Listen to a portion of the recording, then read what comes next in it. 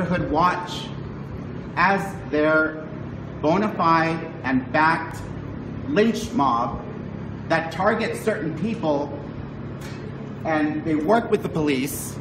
They target certain people that they want that are quote undesirable, and they kick them out of the area. So let him answer um, the first part. So, uh, thank you for making it plain and laying it out.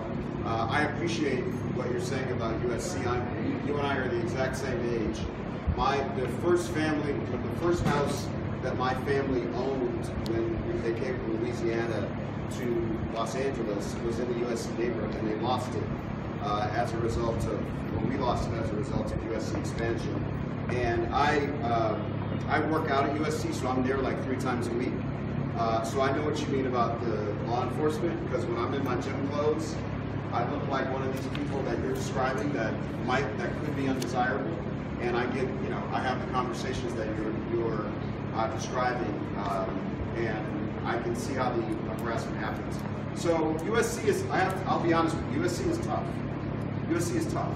The Oh. community benefits process, I was a part of it as well. I wasn't on the city council at the time. I was an executive director of Community Coalition.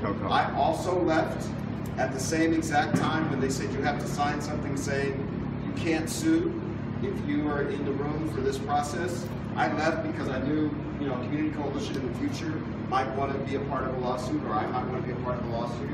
Um, and you know, the, the I will tell you, uh, one of the things I will say uh, that doesn't fix this, but is something to remember in the future, because this that's not the last development that'll happen. I don't, in my district, I do not encourage community benefits agreements. No, they're a sham. The reason why I don't is because the recourse to them